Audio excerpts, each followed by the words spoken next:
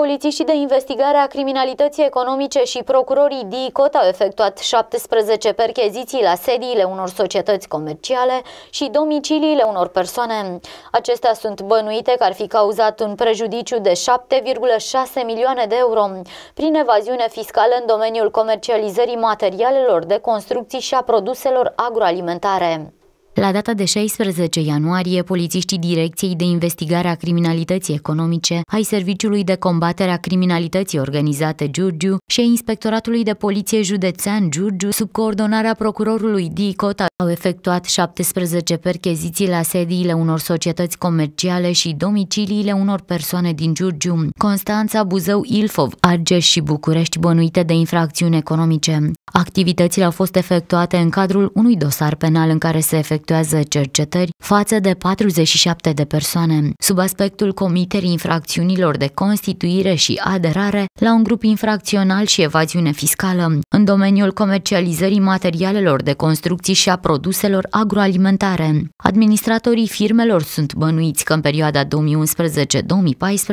ar fi cauzat un prejudiciu de 7 milioane 600 de euro prin înregistrarea în documente contabile a unor achiziții fictive de bunuri și servicii de la societăți comerciale fantomă, controlate de membrii grupului infracțional. La descindere au participat polițiști din cadrul inspectoratelor de poliție județene Constanța, Buzău, Ilfov, Argeș și Direcția Generală de Poliție a municipiului București.